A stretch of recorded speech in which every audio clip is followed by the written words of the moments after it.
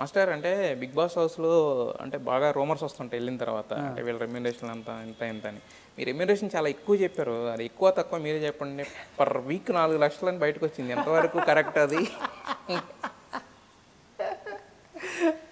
Per week నాలుగు లక్షలు తీసుకున్నారు నటరాజు మాస్టరు అని చెప్పి ఒక ఒక ఇది బయట చక్కర్లు కొట్టింది.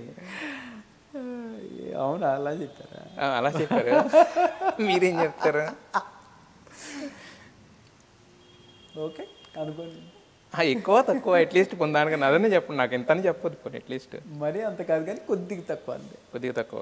అంటే ఒక త్రీ అండ్ హాఫ్ వేసుకోవచ్చు కొద్దిగా తక్కువ అంటే త్రీ అనుకోవచ్చు. ఇంకా అది మీరు ఏమైనా అనుకోండి కొద్దిగా ఎక్కువ ఓకే ఓకే ఓకే. అంటే ఒక మూడు నుంచి అంటే మంచి డీసెంట్ అమౌంట్ డిగ్నిఫైడ్ అమౌంట్తోనే సో మరి ఏం ప్లాన్ చేస్తున్నారు దాంతో మీ బాబుకి ఏమైనా ప్లాన్ చేస్తున్నారా? మీ వైఫ్ ప్లాన్ చేస్తున్నారా? ఏం ప్లాన్ చేస్తున్నారు?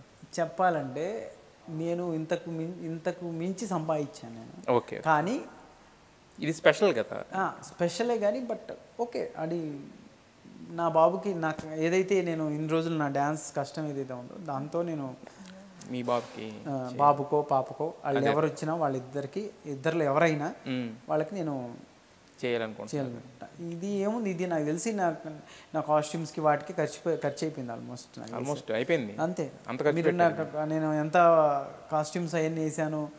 అన్నీ చూసే ఉంటారు. నాకు చెప్పాలంటే ఆ ఫస్ట్ ఇంట్రడక్షన్ సాంగ్ కూడా చాలా నా డాన్సెస్ వాళ్ళ వాళ్ళు ఇచ్చిన డాన్సెస్ కాస్ట్యూమ్ వాళ్ళు కాకుండా నేను ఎక్స్ట్రా పెట్టుకొని చేసుకున్నాను. ఓకే. వాళ్ళు కొంత ఇస్తారు దాన్ని వాళ్ళు ఇస్తారు.